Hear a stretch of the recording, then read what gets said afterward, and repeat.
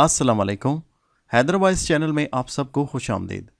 आपसे गुजारिश है कि हमारे चैनल हैदरवाइज को सब्सक्राइब कीजिए और साथ ही साथ बेल आइकॉन के बटन को दबा दीजिए, ताकि हमारी नेक्स्ट वीडियो का नोटिफिकेशन आपको मिल सके। घर के सामने लोगों का हजूम देखकर एक लम्हे के लिए मैं ठिठक कर रुक गया। लोग क्यों इकट्ठे हुए थे? मेरे घर के सामने। अल्लाह खैर करे। मेरे वालिद साहब, मेरे दिल की धड़कन तेज हो गई। मैं तेज कदमों से दौड़ता हुआ घर के बाहर पहुँचा तो घर से ऊँचे ऊँचे रोने की आवाज़ें आ रही थी। एक लम्हे के हजारवें हिस्से में मेरे जहन में जो ख्याल आया, वो यही था कि वालिद साहब अब इस दुनिया में नहीं रहे। अम्मा पहले ही फौत हो चुकी थी। मोहल्ले के चंद बड़े बूढ़े मैयत के इर्द गिर्द बैठे थे और खाला सकीना जो मेरी मोहल्लेदार थी, अपनी बेटियों के हमरा रो रही थी। वो मुझसे बहुत मोहब्बत करती थी। मेरी अम्मा से उनकी गहरी दोस्ती थी। लोगों का हजूम मोहल्ले के सब लोग उदास खड़े थे। वालिद साहब ने इस मोहल्ले में नहायत शरीफाना और अच्छी ज़िंदगी गुजारी थी। लोगों से मोहब्बत करते थे। बिल्कुल भी महसूस नहीं होता था कि कोई अपना है या गैर। चंद एक बड़े बूढ़ों ने उठाकर मुझे सीने से लगाया और रोते हुए मुझे तसल्ली देने लगे। वालिद साहब बीमार रहते थे, मगर इतने बीमार नहीं थे कि अचानक ऐसी खबर सुनने को मिलती। पता चला मेरे जाने के बाद उनकी तबीयत ज़्यादा खराब हो गई थी और दिल का दौरा जानलेवा साबित हुआ। फिर उस दिन मैं खूब रोया। इतना रोया कि हिचकियाँ बंद गईं। मुझे इस बात का बहुत अफसोस था कि अपने वालिद साहब को कोई खुशी नहीं दे सका। उन्हें मेरे बच्चे देखने की बहुत आस थी। उन्होंने मुझे पढ़ाया लिखाया, पाल पोस कर बड़ा किया और मेरा हर तरह से ख्याल रखा।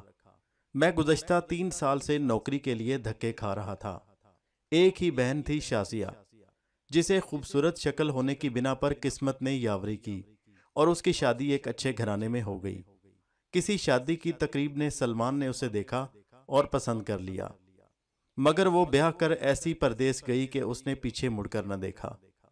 ये देखना तक गवारा न किया कि बाप और भाई की साल में है। कभी कभार मोहल्ले के किसी पीटीसीएल पर उसका फ़ोन आ जाता और रस्मी सी सलाम दुआ के बाद फ़ोन बंद कर देती। कई सालों से इंग्लैंड में मुकीम थी। हमारे हालात इस कदर ख़राब थे, मगर उसे एहसास तक नहीं था। मेरे हालात उससे ढके छुपे नहीं थे। मुझे न सही अपने बाप को ही पूछ लेती। ना ही मेरा और ना मेरे वालिद साहब का ये ज़मीर गवारा करता कि हम उससे कोई मदद मांगते। मगर अक्सर मुझे हैरत होती कि क्या उससे हमारा वाकई कोई खूनी रिश्ता था। घर की गरीबी के हालात तो वो जानती थी। लेकिन वो इस कदर लाताल्लुक हो गई थी, इस बात का अफसोस था। वालिद साहब उसे कई बार याद करते और मुझे कहते कि, पीसीओ से फ़ोन करके हाल चाल मालूम कर लो। मैं उन्हें तसल्ली देकर अच्छा कहकर निकल जाता, मगर उसे फ़ोन नहीं करता। और घर आकर वालिद साहब को तसल्ली देता कि वो ठीक है और आपकी सेहत के बारे में पूछ रही थी और आपके लिए दुआ कर रही थी। सलमान के रिश्तेदारों और अजीज़ों से पता चलता रहता कि वो बहुत अच्छे हालात में थी। शाजिया के माशाल्लाह दो बेटे और सलमान के साथ मुल्कों मुल्कों घूमती। मगर हमने कभी भी उससे कुछ नहीं मांगा और ना ही इसकी कभी जहमत समझी। वालिद साहब की पेंशन पर मेरा और उनका गुजारा हो रहा था। उनकी वफात के बाद वो पेंशन का सिलसिला भी बंद हो गया। मकान हमारा अबाई था, इसलिए मुझे मकान की फ़िक्र नहीं थी।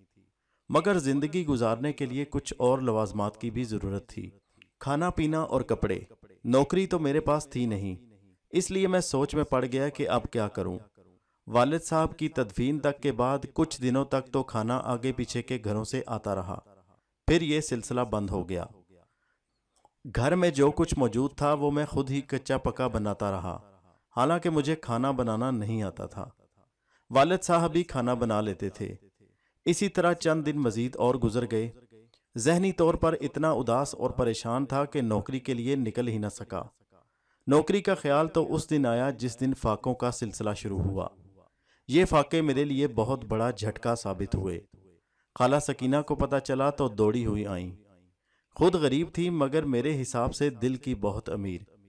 काफ़ी देर तक मेरे पास बैठकर रोती रहीं। मेरे माँ बाप को याद करती रहीं। वो मेरे लिए अपने घर से खाना लाई थी। तीन बेटियों का बोझ था जो कम उम्र थी। एक लड़का बड़ा था जो पूरा का पूरा हड हराम था। घर लेटा, चारपाई तोड़ता रहता। खाला सकीना बेटियों के साथ मिलकर लिफाफे बनाती, मुख्तलिफ़ घरों के काम करती और फिर जाकर उनके घर का चूल्हा जलता। खाला सकीना उस दिन मेरे लिए पसंदीदा पालक गोश्त बनाकर लाई। मैं देख कर रोने लगा। मेरी माँ मेरे लिए वो पालक गोश्त बनाती थी। खाला की आँखों में आँसू थे, कहने लगी, मत रो बेटा, मैं जो हूँ तेरी माँ। मैंने खाला के हाथ मोहब्बत से चूम लिए। शाबाश मेरा बेटा, खा ले। चल बेटा, खाला मेरी बात सुनो, मैंने नवाला तोड़ते हुए कहा। खाला, आप मेरे लिए इतनी तकलीफ़ मत किया करो। क्या हुआ, तुम मेरे बेटे जो हो? मैंने कौन सा तकलीफ़ की है? घर में भी तो हम बनाकर खाते हैं। क्या हुआ जो तुम खा लोगे? और सुन, अब से तेरे खाने की ज़िम्मेदारी मेरी। खाला ने कहा तो मेरी आँखों से आँसू छलक पड़े। नहीं खाला, मैं आपके एहसानों का बोझ नहीं उतार सकता। अरे, एहसान कैसा बेटा, हम तो खुद भी खाते हैं। अगर तुम खाओगे तो मुझे खुशी होगी। नहीं खाला, मैंने एक फैसला किया है। कैसा फैसला बेटा? खाला हैरान होकर पूछने लगी। खाला, इस शहर में मेरी किस्मत नहीं जाग रही। लिहाजा मैंने ये फैसला किया है कि ये शहर छोड़कर किसी और शहर जाकर किस्मत आजमाई करूँगा। खाला उदास होकर कहने लगी, नहीं बेटा, अपने बाप का आबाई शहर मत छोड़ो। खाला, मैं शहर नहीं छोड़ना चाहता, शहर तो मेरा यही है। मेरा मकान यहाँ मौजूद है। बस मैं अपनी किस्मत को आजमाना चाहता हूँ। हो सकता है किस्मत की देवी मुझ पर मेहरबान हो जाए, और ये भी हो सकता है कि पहले से ज़्यादा बुरे हालात में चला जाऊँ। मगर खाला खुद सोचो, इससे ज़्यादा बुरे हालात क्या हो सकते हैं? कि माँ बाप ही नहीं है और बहन है तो वो भी ना होने के बराबर। और खाने तक के लाले पड़ गए हैं। फाकों तक नौबत आन पहुँची है। फिर भी बेटा, मैं तो यही कहती हूँ कि अपने शहर में किस्मत आजमाई कर।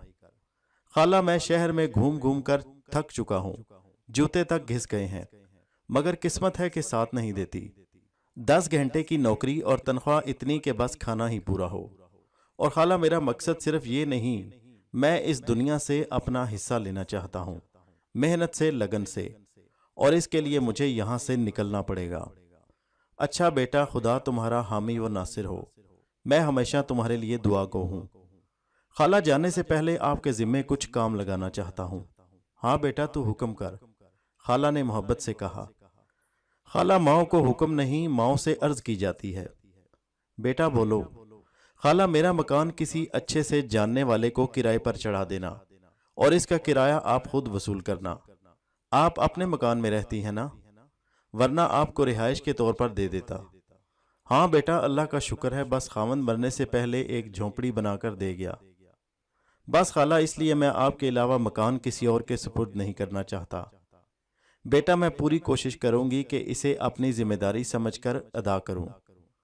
खाला मकान किसी अच्छे से आदमी को देना और किराया वसूल करती रहना। बेशक किराया तुम खर्च करना।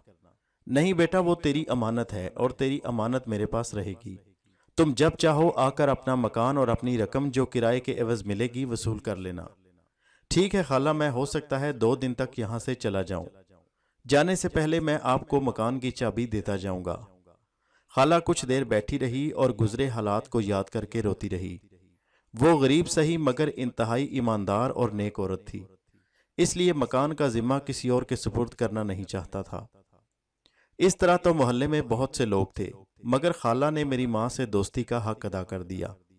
कुछ दोस्तों ने मुझे मशवरा दिया कि घर में ही एक एकेडमी खोल लूँ, मगर मेरा दिल नहीं मानता था। टीचिंग करना मेरे बस की बात नहीं थी। मैं कोई अच्छी सी नौकरी या कारोबार करना चाहता था और कारोबार के लिए सरमाया चाहिए था। सारी रात करवटें बदलते हुए गुजरी, नींद नहीं आ रही थी। सारी रात माँ बाप को याद करके रोता रहा। अगले दिन सुबह सुबह हमसायों की एक बच्ची मुझे बुलाने आई कि आपकी बहन का बाहर से फ़ोन आया है। उस जमाने में पीटीसीएल के फ़ोन होते थे, मोबाइल नहीं होता था। चारों नाचार मुझे उठना पड़ा। हालाँकि मैं उससे बात नहीं करना चाह रहा था। मगर वालद साहब की फौतगी के बाद पहली बार उसका फ़ोन आया था। उनके घर गया, फ़ोन उठाया तो दूसरी तरफ़ बहन रो रही थी। उसने वालिद साहब का अफसोस किया और फिर सलमान को फ़ोन पकड़ा दिया। सलमान ने भी मेरे साथ बात की और मुझसे वालिद साहब का अफसोस करने लगा। चंद रस्मी जुमलों के बाद दोबारा फ़ोन शाजिया को पकड़ा दिया। बहन रोती जा रही थी और पूछने लगी कि क्या बात है दानिश, तुम मुझसे खुलकर बात क्यों नहीं कर रहे? मैंने कहा, अब क्या बात करूँ? जब से तुम परदेश गई हो, तुम्हारा हमसे बिल्कुल रबता रस्मी सा है। वालिद साहब इतने बीमार रहे, तुमने कभी पूछने की जहमत नहीं की। और मरने के बाद उनकी मौत पर आँसू बहा रही हो। वो शर्मिंदा थी, रोती रही। मगर मेरे आखिरी अल्फाज सुनकर तो जैसे उसकी हिचकी बंद गई। शाजिया, मेरा तुमसे कोई रिश्ता नहीं। तुमने उन वालदेन की कदर नहीं की जो तुम्हें दुनिया में लाने का सबब बने। तुम्हें तुम्हारी ज़िंदगी मुबारक हो। आज के बाद मुझे कभी फ़ोन मत करना, क्योंकि मैं तुम्हें यहाँ कभी नहीं मिलूँगा। मैंने बेरुखी से कहा, सुनो सुनो, दानिश, मेरी बात सुनो, प्लीज़ मेरी बात सुनो।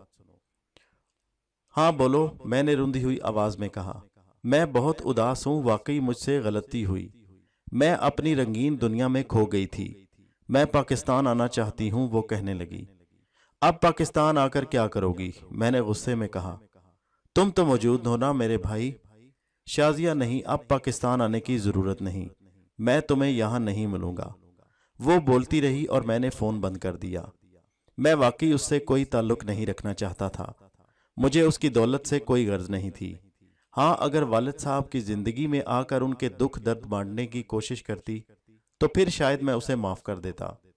लेकिन माफ़ करने वाला खुदा है, मैं नहीं। वो मेरी गुनाहगार नहीं थी। मैं बोझल कदमों से हमसायों के घर से वापस आ गया। अपने घर को हसरत से देखता, जहाँ मेरी माँ सहन में बैठकर मेरे लिए खाना बनाती थी। अब वो सहन सुना सुना और उदास था। ज़िंदगी की तस्वीर कितनी जल्दी बदल जाती है। इंसान को पता ही नहीं चलता। ये दुख दर्द तो वही लोग समझ सकते हैं जिनके वालिदैन अब इस दुनिया में नहीं। मैं अपने घर के एक एक कोने को देखता रहा, फिर अपना बैग तैयार करने लगा। घर में चंद एक चीज़ें थी जिनके एवज मुझे कुछ रकम मिल सकती थी। वो निकाल ली ताकि अगले दिन उन्हें बेचकर कुछ पैसे हाथ आ जाएँ। घड़ियाँ, एक टीवी और चंद एक और चीज़ें। मैं अपने फैसले का पक्का था। अब इस शहर को खैराबाद कहना था। बेटा, अपना ध्यान रखना, खाला कहने लगी। जी अच्छा खाला, आप दुआएँ करती रहना मेरे लिए। मैंने मकान की चाबी खाला के हवाले करते हुए कहा। अच्छा बेटा, जाओ, अल्लाह पाक तुझे कामयाब करे। तुझे सारे जहान की खुशियाँ अता करे। तेरी दिली मुराद पूरी करे। बेटा, अपनी खैर खरीत के बारे में हमें खत लिखते रहना। खाला परेशान ना हो, मैं इंशाल्लाह पूरी कोशिश करूँगा कि आपसे रबते में रहूँ। लेकिन बेटा, तुमने बताया नहीं कि तुम जाओगे कहाँ।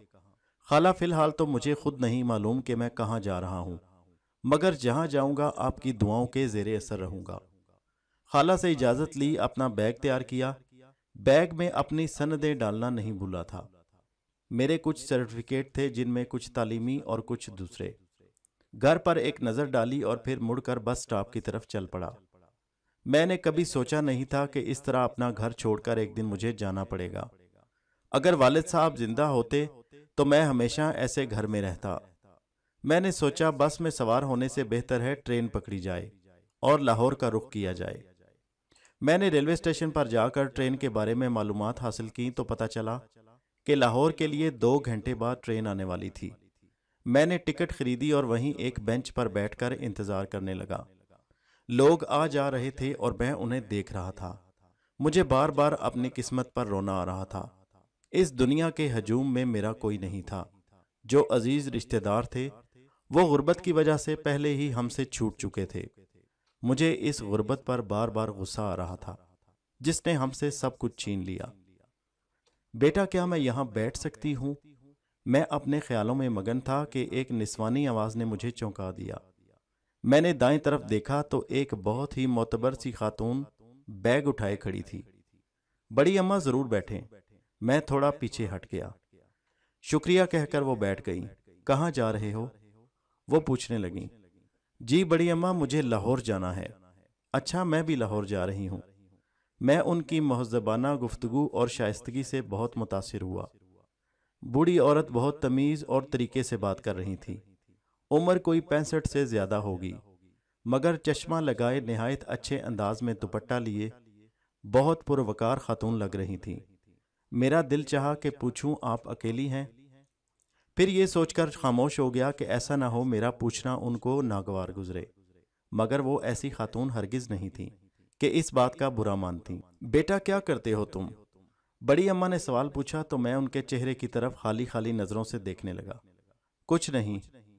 अरे, क्या मतलब? हैरत से उनका मुँह खुल गया। जवान जहान हो, कुछ तो करते होगे। नहीं अम्मा, मैं फारिग हूँ, नौकरी की तलाश में भटक रहा हूँ। ओ अच्छा। बड़ी अम्मा सर झुकाकर कुछ सोचने लगी। रहते कहाँ हो? कितने बहन भाई हो? बड़ी अम्मा तो मेरा पूरा इंटरव्यू लेने पर तुली हुई थी। बड़ी अम्मा इसी शहर का रहने वाला हूँ और मेरी एक बहन है बस, और लाहौर नौकरी की तलाश में जा रहा हूँ, या यूँ कहिए कि किस्मत आजमाई करने जा रहा हूँ। अच्छा बेटा, खुशी हुई, अल्लाह तुम्हें कामयाब करे। शादी हो चुकी तुम्हारी? जी नहीं बड़ी अम्मा, अभी तक गैर शादीशुदा हूँ। मैंने जवाब दिया। इसीलिए बेटा, वरना शादीशुदा इंसान के तो इतने अखराज होते हैं कि आजकल के दौर में गुजारा मुमकिन ही नहीं। जी अम्मा, आपने दुरुस्त कहा। बेटा, मुझे लाहौर जाना है, वहाँ मेरी बेटी मुझे लेने रेलवे स्टेशन पर आएगी। वो वहीं रहती है लाहौर में और पढ़ती है। हमारी रिहाइश लाहौर से कुछ आगे है। मैं लाहौर में एक दिन अपनी बेटी के पास रहूँगी और फिर वापस अपने शहर चली जाऊँगी। लाहौर से आगे एक छोटी सी तहसील में हमारा गाँव है, जहाँ हम रहते हैं। यहाँ मेरे, मेरी एक रिश्तेदार का दो दिन पहले इंतकाल हो गया था, जिसके लिए मुझे यहाँ आना पड़ा। बेटी ने मुझे लाहौर से गाड़ी में सवार कराया था। तुम जानते हो, बड़े बूढ़ों के साथ कौन सफ़र करता है, और वैसे भी इसकी मजबूरी है, मेरे साथ नहीं आ सकती थी। उसका फाइनल ही है कॉलेज का, वरना मैं तो उसी के साथ आती। अच्छा बड़ी अम्मा, बहुत अच्छी बात है। मैंने सर हिलाया। मैं चाहता था कि बड़ी अम्मा थोड़ी देर के लिए स्टॉप करें, मगर वो बहुत बातूनी लग रही थी। मैंने बैग वहीं रखा और उन्हें कहा कि, अम्मा, मैं थोड़ी देर में आता हूँ। मेरे बैग का ध्यान रखें। वो खुश दिली से मुस्कुराकर बोली, ठीक है बेटा, मैं यही हूँ, तुम फ़िक्र मत करो। तुम जाओ। मैं प्लेटफार्म पर इधर उधर बेमकसद यूँ ही फिरता रहा। बस वक़्त गुजारना मकसूद था, क्योंकि बड़ी अम्मा के इतने सवालों और बातों से मैं तंग आ गया था। मेरा जहन पहले ही उलझा हुआ था और बड़ी अम्मा बार बार सवाल पूछकर मुझे मजीद परेशान कर रही थी। ट्रेन का वक्त होने में थोड़ी देर रह गई थी। तो मैं दोबारा बड़ी अम्मा के पास जाकर बेंच पर बैठ गया। अरे बेटा, बहुत देर लगा दी तुमने, मैं तो परेशान ही हो गई थी कि कहीं तुम चले ही ना गए हो। नहीं अम्मा, मैंने कहा जाना है? मेरा बैग भी आपके पास था। मेरा लाहौर जाना बहुत ज़रूरी है। अच्छा बेटा, मेरा एक काम करो। मुझे भी अपने साथ सवार करा देना। मैं बूढ़ी जान कहाँ इधर उधर धक्के खाती फिरूँगी। अपना टिकट दिखाएँ। मैंने कहा तो अम्मा ने झट बैग से अपना टिकट निकालकर मेरे हाथ में थमा दिया। बड़ी अम्मा, आपकी भी इसी डिब्बे में सीट रिज़र्व है, जिसमें मेरी है।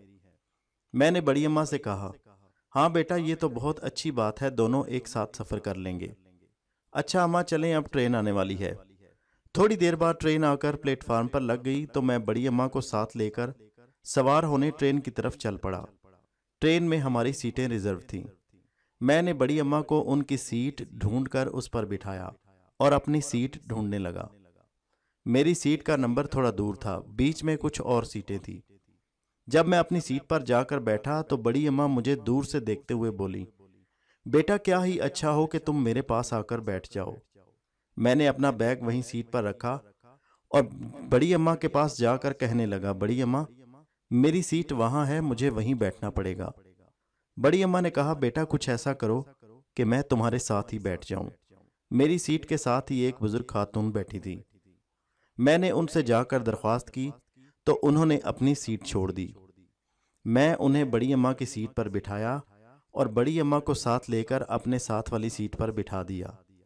तुम्हारा बहुत शुक्रिया, मुझे तुम पर एतमाद है। इसीलिए मैंने तुमसे ऐसा करने को कहा। जी बड़ी अम्मा, कोई बात नहीं।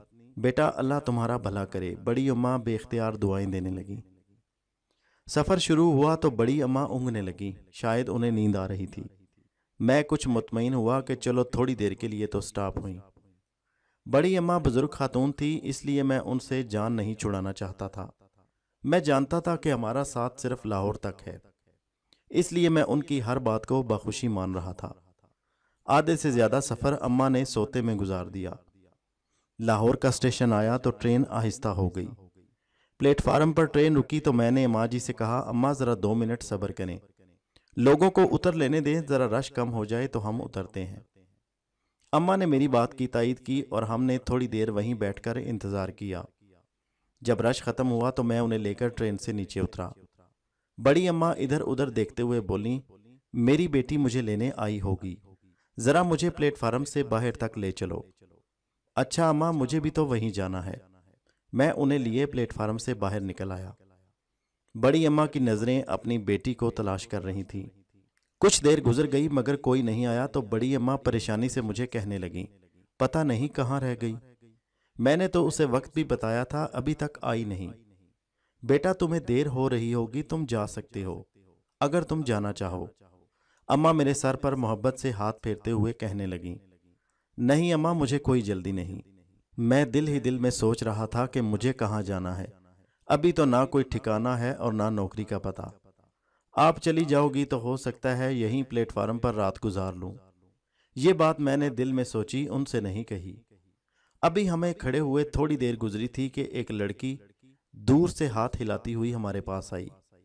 ब्लू जीन्स में मलबूस उस लड़की के बाल शानों पर बिखरे थे। मम्मी मम्मी, वो पुकारती चली आ रही थी। पास आई तो उसका सांस फूला हुआ था। अरे, कहाँ रह गई थी आप मम्मी? कितनी देर से ढूंढ रही थी। सारा प्लेटफॉर्म छान मारा और आप यहाँ? वो नॉन स्टॉप बोल रही थी। अरे, सबर करो, तुम्हें हो क्या गया है? मैं खुद तुझे ढूंढ रही थी। सलाम करी ने, ये मुझे अपने साथ ही लाए हैं। अम्मा ने मेरी तरफ़ इशारा किया तो पहली बार उस लड़की की नज़र मुझ पर पड़ी। Oh hello. उसने गहरी नज़रों से मेरा जायजा लिया। हेलो, मैंने जवाबन कहा। Very handsome. वो कहने लगी। ये मेरी बेटी है बीनिश। अम्मा ने तारुफ करवाया। ओ ममा मुझे बीनी कहा करें। बीनिश आउटडेटेड नाम है। वो मुँह बनाकर कहने लगी। मैं हंसने लगा। बेटा बुरा मत मानना, ये शुरू से ही शहर में पली बड़ी है। इसलिए इसी तरह की है। अच्छा बेटा, इजाज़त दो। अम्मा मेरे सर पर हाथ फेर कर कहने लगी। लड़की बदस्तूर मुझे घूरे जा रही थी। मैं कुछ शर्मा गया। अच्छा अम्मा, खुदा हाफिज। मैंने कहा और पलटने ही लगा था कि अम्मा ने आवाज़ दी। अरे बेटा, जरा को रुको। जी अम्मा, मैं दोबारा पलट गया। नाम क्या है तुम्हारा? जी दानिश। अच्छा नाम है बेटा, जरा रुको तो सही। बीनेश जल्दी से मामू का नाम और दफ्तर का पता लिख दे इनको। बड़ी अम्मा ने बेटी से कहा तो वो सवालिया नज़रों से मुझे देखने लगी। अरे, जल्दी करना। अम्मा ने डांट कर कहा तो उसने शोल्डर बैग से कोई कार्ड निकाला। अम्मा, कार्ड है मेरे पास उनका। अम्मा ने झट से कार्ड उससे लेकर मुझे दिया और कहने लगी, बेटा, ये मेरा भाई है। इसी शहर में कारोबार है इसका। अगर तुम्हें नौकरी ना मिली तो इनके पास चले जाना। बड़ी अम्मा के इस एहसान पर मेरी आँखों से आँसू निकल आए। शुक्रिया अम्मा, मैंने कहा और वो खुदा हाफिज कहकर चल दी। लड़की ने मुड़कर मेरी तरफ़ देखा। मैं उसकी आँखों में अपने लिए पसंदीदगी देख चुका था, मगर वो शहर की अमीर और महजब लड़की थी। और मैं एक छोटे से शहर का सीधा साधा इंसान। मैं इन सपनों का मुतहमल नहीं हो सकता था। मैंने कार्ड लेकर जेब में डाला और इधर उधर नज़रें दौड़ाई। भूख से मेरा बुरा हाल था। हालत ऐसी हो रही थी जैसे पेट में चूहे दौड़ रहे हों। जारी है कहानी गर्दिश। इस कहानी का अगला हिस्सा। नेक्स्ट वीडियो में मुलाहजा कीजिए और हमारे चैनल हैदर वाइस को सब्सक्राइब कीजिए। शुक्रिया।